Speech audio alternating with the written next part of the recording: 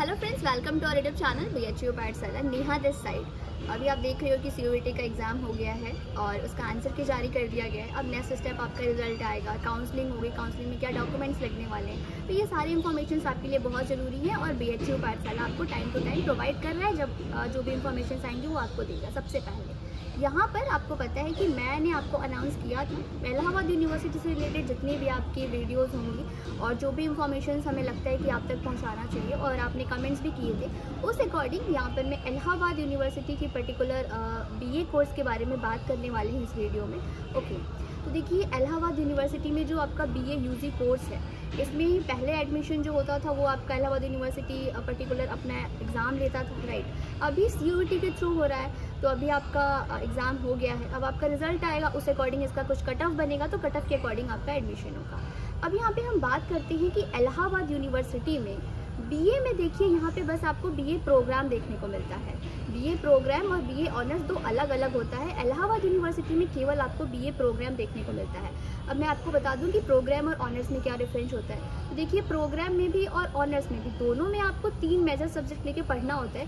But honours में क्या होता है कि आप किसी एक पर्टिकुलर सब्जेक्ट पे फोकस कर रहे होते हो राइट और जब आप थर्ड ईयर में जाते हो तो यहाँ पे आपको दो ड्रॉप करना होता है। मतलब कहने का ये है कि अगर आप बी ऑनर्स करते हो तो किसी भी एक सब्जेक्ट में आप एक्सपर्ट हो जाते हो। और अगर आप बीए प्रोग्राम कर रहे हो तो यहाँ पर जो आप तीन सब्जेक्ट्स लेंगे, उन तीनों सब्जेक्ट में आपको फोकस करना है और बराबर बराबर तीनों को पढ़ना है। मतलब अगर यहाँ पे आप तीन सब्जेक्ट लिए हैं तो तीनों सब्जेक्ट तक लास्ट तक चलते चलते आप स्पेशलिस्ट बन जाएँगे राइट और हाँ यहाँ पे थर्ड ईयर में आप जाते हो तो आपको एक सब्जेक्ट ड्रॉप करना होता है ओके तो इलाहाबाद यूनिवर्सिटी में बीए प्रोग्राम है ऑनली अब देखिए, इलाहाबाद यूनिवर्सिटी में बीए कोर्स के लिए टोटल आपकी जो सीट्स हैं वो फोर्टी सिक्स हंड्रेड है ओके और यहाँ की जो फ़ी है फ़ी स्ट्रक्चर क्या है? तो आपका फ़र्स्ट ईयर में something nine hundred one thousand के अराउंड लगता है। मतलब देखिए, वो सब्जेक्ट वाइज हो जाता है ना सब्जेक्ट कॉम्बिनेशन आपका चेंज होता है तो आपकी फ़ी भी चेंज हो जाती है। और प्रैक्टिकल अगर होता है तो हंड्रेड टू डिफरेंस आता है। तो आप मान के चलिए कि आपका वन थाउज़ेंड फ़र्स्ट ईयर में टू फिर वन थाउज़ेंड सेकेंड ईयर में and one thousand third year में मतलब थ्री थाउज़ेंड में आपका तीनों साल कंप्लीट हो जाना है। ओके. नाउ ये तो आपका फ़ीस स्ट्रक्चर था। तो पहली चीज़ टोटल बीए में 4600 सीट्स है।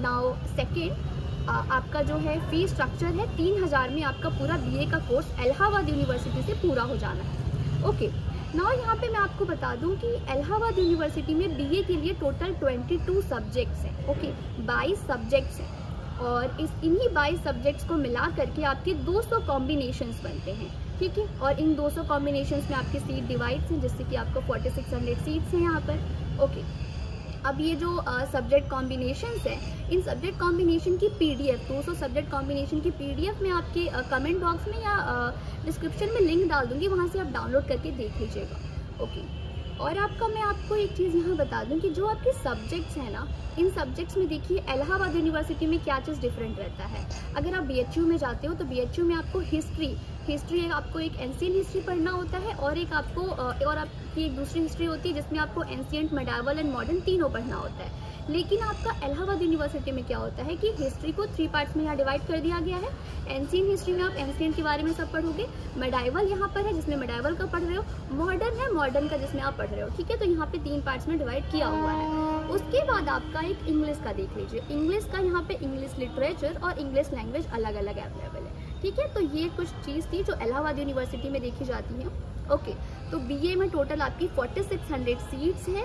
ओके और देखिए आपका जो है कट ऑफ़ क्या रहने वाला है बीए का इस बार का? तो एक्चुअली इस बार सी हुआ है।